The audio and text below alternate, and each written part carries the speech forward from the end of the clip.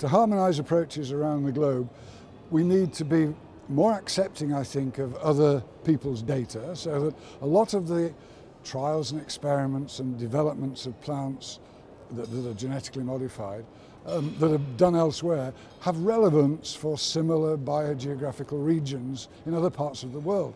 But the regulators nearly always want them to do another trial, do, do it in their own country. So that's one thing we can do.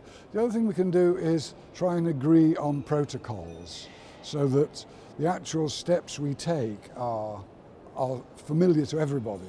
For example, in looking at non-target organisms, we, we could all agree that one of the ways to do this is to accept a tiered approach where you do laboratory experiments and then go on to the field.